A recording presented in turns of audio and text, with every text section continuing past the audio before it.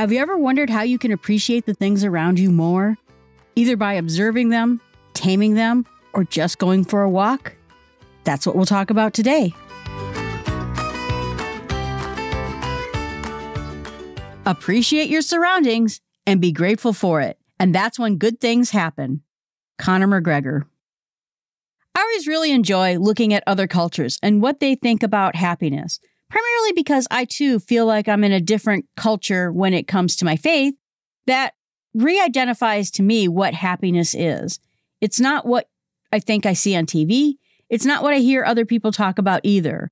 And I think other cultures of the world can also help us give perspective about how happiness or a content life can be gained through different measures.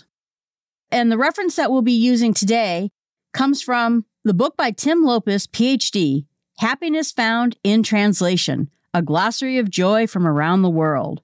And I also did additional research on the internet about how different cultures see happiness the first one on the culture that we'll talk about has to do with our surroundings. How can our surroundings change the way we look at happiness or how content we are? I always find it a bit interesting. There's a television show where people move to other places in the world and real estate agents help them find the place that they're looking for. And people will talk about, well, they don't appreciate the American lifestyle. It's such a rat race. And they live in Washington, D.C. Where I live more towards the middle of America, we don't have as much of a rat race. We don't have the same problems. We don't have the same feelings that a lot of places in the United States have. These people are moving to other places in the world to find happiness when all they had to do was move into another part of the United States. Not to say that moving to another part of the world isn't exciting, interesting, and valuable. Just saying that I understand that no one culture has a cohesive view about happiness or even how they live their lives. When I travel for work, I see it all the time. I've been to Rodeo Drive, and that place probably had the least to do with my life as possible. I went to New York and found a lot of relatable places there that I really understood, but still very different from where I live. Finding out how people find happiness or contentment or what they find valuable is interesting to me. And of course, where we live affects our worldview, what we see around us. It helps us measure ourselves compared to the other people around us. And so it's always very important in how we think about things. But learning about other places might help us give better insight into exactly what it is that we think we see or how to compare it to what we feel. And so, unfortunately, a lot of these words are in other languages that I don't speak. So you'll have to forgive me on some of the words that I maybe don't say quite correctly. But our first word that we're going to talk about today is apprivoise. And the word literally means to tame. It means taming our surroundings. It may be that we have a wild backyard and we tame it and turn it into a beautiful garden. That's the concept of the happiness that they find is what can we do in order to make something our own? I remember a long time ago, there was a movie with Julia Roberts, and she moved into this ramshackle house that was just destroyed, torn up. No one would ever want to really live there. But she got out her cleaning supplies and new curtains, and she made it a beautiful place. That's that concept that we're talking about today. We're really trying to tame something or domesticate something that's wild. But it can also mean making ties with other people that Maybe we don't have a relationship with a place or another person, and we tame that relationship, make it special to us. People in France find a connection to the world around them by seeing their surroundings, by seeing the relationships around them, even the buildings and the cityscape, and making it their own. The next word, too, is a French word, and it is dépaysé. It talks about having a blissful disorientation which will mean something about being in a completely different place, being in some place that's so new and so unique, you don't even have the grounds to know anything about it. It's that concept about completely enjoying something entirely new, entirely exciting, and something that they just don't see every day. I have to say, I have a lot of this. I love going places that look like places I've never seen before.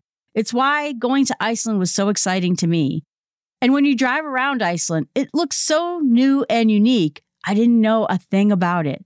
And that was really cool. Same thing when I went to India. It was such a different place to where I live. I was excited to be there. The third word is called Dadirri, and it's an Australian Aboriginal language word. And it means really listening to the natural world around you.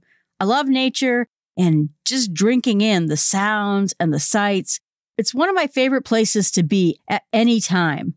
And this concept is really about taking your surroundings in nature and soaking it in, giving it that thought, that reflection, and listening and watching the natural woods. I think that's wonderful. I think it's a wonderful action to take. A lot of times when I see people walking in the woods, including myself sometimes, they're chatting, they're just rushing to get it done with, and they're not taking it in. They're not looking at anything. My friend and I were walking once and we saw this cute frog sitting on a leaf. And we were watching him and just staring at him probably for about 20 minutes, taking pictures of him, just sort of taking in his surroundings. He was just so cozy in that leaf. And we noticed that when other people walked by, they never looked side to side, even the kids, to see that there was a frog right there, a beautiful little green frog sitting in a leaf. And it's interesting to me how many times people will walk right by nature without even noticing anything about it. In researching this topic, too, I found all sorts of interesting things. There was a blogger in Chile who decided that every day she was going to take a picture of the nature around her because she was so amazed about what she saw. And it was, in her opinion, something that she had never seen before. And it's true, it's so different. But she posts the pictures, and I looked at them and just thought, wow, they really are amazing. But I even noticed that when I went to Hawaii, my coworker and I tried to go on hikes every weekend that we could, or after work if there was time. And we kept just being amazed by it all, and then going to work in the following day. Have you ever been to this place? It's amazing. And half the people who lived in Hawaii had never been to where we were.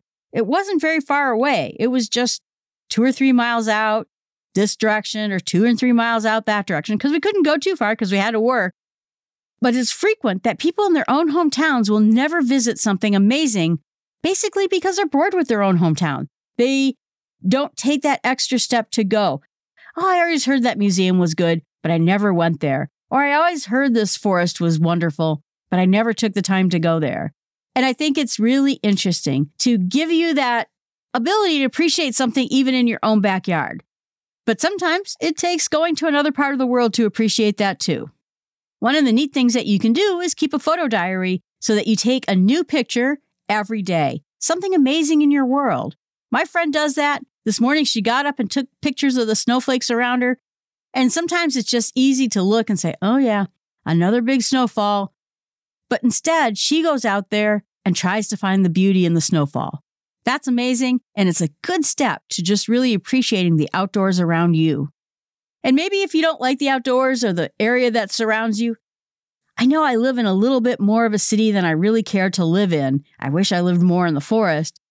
Still, make it your own by learning about the architecture, creating itineraries so that you can walk around, maybe take a historical tour of your town, architecture of your town, or some of the official walking tours they have available to you. Even if you can't get out, try finding a connection with your surroundings near your home, and it'll make you appreciate where you live so much more. And I listed some resources in my show notes to talk about how you can appreciate your surroundings more. One of them talks about how to appreciate architecture. The second is a book that I really love called The Lost Art of Reading Natural Signs.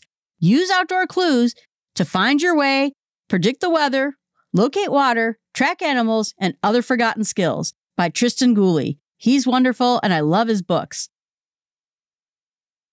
I got interested in this topic when I was in high school and taking Spanish. And the word paseo, which means a walk, or it means literally a way, is a big part of the culture in Spanish speaking cultures. It's true in Latin America and in Spain and in other cultures, which we'll talk about in just a bit. But walking around with purpose makes their lives so much better. The word paseo in Spanish, and it has correlating words in Italian and other Romance language, means this tradition of savoring your surroundings, walking around, soaking it in, maybe even being a bit aimless about the walk, but just for the pleasure of it. And while I say that there's no purpose in mind, mean that in a destination way. You're not walking to a store, you're not walking to your friend's house, but there is, I think, a purpose to it. And the purpose is social to meet your neighbors, to talk to people around you, to go get a cup of coffee. But you can also just randomly browse a store window, hop into a movie, or just generally walk around your community and see what you see. It's meant as a way of getting out and being part of the culture. A traditional walk in Spain and other Spanish speaking nations is that the tradition was boys would walk in one direction and girls would walk in the other direction so that they could all meet up and meet each other and find people they could potentially date. In a lot of cultures, this happens after dinner and just before it turns dark. Sometimes they put on their best clothes and a full set of makeup. I can tell you that during the pandemic, everybody went for a walk, but nobody put on good clothes, did it with the purpose of meeting their neighbors, or spent much time chatting with people. I did have some people come by and say hi and met a lot of new neighbors, but it wasn't specifically for this purpose. I think this is much more social than we give it credit in the United States to do. I think what's interesting too is you'll see a lot of times people will talk about street food. There is street food in almost every culture on the planet, and that's because people are walking around. They want to grab a quick meal and something that's going to be yummy and low cost so that they can continue on their walk, but still enjoy the great food around them. And in parts of Spain, they actually have tapas meals, which are those small plate meals for this particular purpose because people tend to go out and have even a late meal after their walk.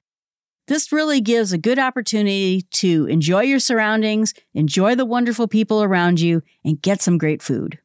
The next word we'll talk about is flaneur, but that's the French word for leisurely strolling around your neighborhood and your surroundings.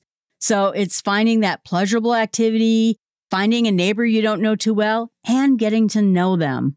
It also means, again, without a particular destination. You're not going out on errands, you're just enjoying a nice walk and seeing what interesting things you're going to find along the way. In the Greek, there's volta or the word korzo, which again is a certain walk during dusk time. And what they say is that everyone in a town just goes for a walk, saunters, strolls up and down, goes to the main streets, and gets to meet other people. Same concept in Portugal, and another version of it exists in Jewish communities on the Sabbath. They say that the word volta in the sense means turn up, down, and back again, which means you're just walking all over the place. For whatever reason, engaging in whatever activity you want to engage in when you go around.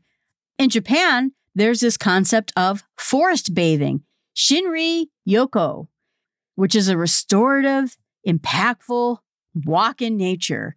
It clears your mind. They say that it's an act of meditation to be in the woods.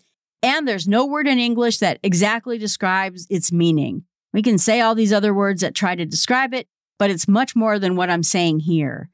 But this concept of going for a walk in the woods is important. Some studies have shown that stress levels go down with just a 20 minute walk in nature. And for some people who live in heavy urban areas, can find a tree, a small park. There is nature around you, whether it's a lake, a stream, or a waterway. But somehow just getting 20 minutes of that nature in is so impactful in your life. It reconnects you to thinking, it reduces stress, and it just makes your day so much better. Another concept, which is a verb of ohanami, which means gathering to enjoy and appreciate the cherry blossom. Very specific words. Cherry blossoms only come out at a particular time of year. You can only see them for a short time, but making that chance to go out there and enjoy them when they're there. It's amazing that there's a word dedicated to just that. My friend and I, every year in May, will go out and look at the blooming lilacs, tulip trees, and the magnolias. They all kind of come in at that same time, along with the crab apples. And we have an arboretum near us, and we make it a point every year to do that. So while it's not the same thing as this Japanese word, I think it gets the spirit of going out, finding something that happens for a very short period of time, particularly in spring, and enjoying that moment. Cherry blossoms are fragile, they fly away eventually, but if we can enjoy them when they're here, it makes all the difference in our year. There's a Swedish concept called Smultronställe, but it means that there's a particular berry patch. You go to this very quiet place, a little mini natural retreat, I think. And you go and maybe you pick berries and you hope they're not poisonous and sit on a blanket and enjoy this little patch of area in the woods. I think it's great. I used to live on a place across the street from Blueberry Hill. My friends and I would go out, sit on a log, and pick blueberries and eat them right from the plant. And it was our own fresh forest berry patch. We just loved doing that. And we didn't even realize how expensive blueberries are, but we got a chance to go out there and just enjoy eating them fresh from the forest. So, my challenge to you is to try every day to go for a small walk. Meet your neighbors, make it aimless, and try to find something new in the world around you. Get a better appreciation from the nature, the buildings, and the people around you. Maybe even you'll pick up a date, just like the people in Spanish cultures. But hopefully, they'll give you a way of either whether you're at a city location or natural location to appreciate your surroundings, either because it's so new to you that you're excited about it, or because it's a tamed environment, because we took something wild and made it our own. And our fun entertainment advice of the week comes from A River Runs Through It with Robert Redford. But when I am alone in the half light of the canyon, all existence seems to fade to a being with my soul and memories, and the sounds of the big Blackfoot River and a four count rhythm, and the hope that a fish will rise.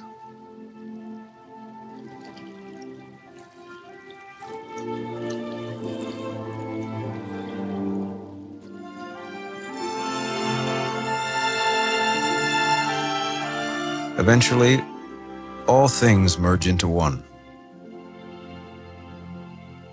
and a river runs through it. That's some pretty deep advice.